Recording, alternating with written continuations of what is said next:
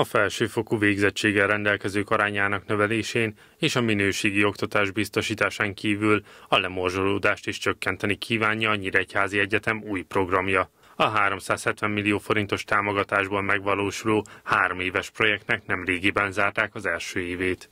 Alapvetően ami, amire nagyon nagy igény van, az azon túl, hogy különböző mentori vagy pszichológiai foglalkozásokat is tartunk, ha már a, ha már a lemorzsolásról beszéltünk, azok a, ezen felül még a felzárkóztató kurzusok nagyon népszerű ö, csomagot képviselnek. Gondolok itt arra, hogy ha vannak olyan tárgyak egy adott szakon, amelyekből éppen bukdácsol a hallgató, nem mérte fel a jelenlegi tudását, és nem készült fel éppen arra a vizsgára olyan szinten ö, abban a fél évben, akkor többszöri próbálkozás után nyilván ez is kedvét szegi, és, és azt mondja, hogy jó, akkor én ezt itt hagytam. Az egyetem céljai között szerepel a hiány szakmák erősítése. Ezeket a területeket megnövelt óraszámokkal kívánják segíteni, de az egyetem az idegen nyelvű képzés fejlesztését is tervezi. Tehát gyakorlatilag a most augusztus 31-ével elkészül 33 új olyan kurzus, ami egyébként a távoktatásban is remekül az új mai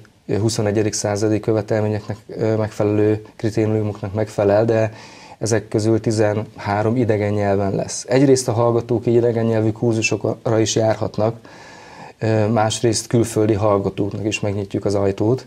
Eddig is voltak már ezen projekten kívül idegen nyelvi kurzusok, de ez egy nagyobb löketet adna ennek. A projekten belül az egyetem a lemorzsolódás okait is vizsgálja. A központvezető elmondta, az már csak a következő év tanulsága lesz, hogy mely alkalmazott módszerek hatékonyabbak a tanulók megtartása érdekében.